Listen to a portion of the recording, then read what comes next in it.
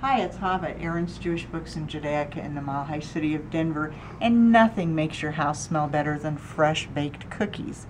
And here I have the 27 letters of the Hebrew alphabet in cookie cutters. These cookie cutters are stainless steel, approximately 3 inches high. This is the Aleph.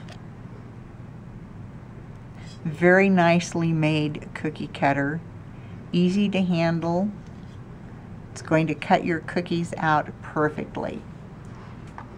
27 letter Hebrew alphabet cookie cutter sets. We also have over here for Rosh Hashanah a three-piece cookie cutter set.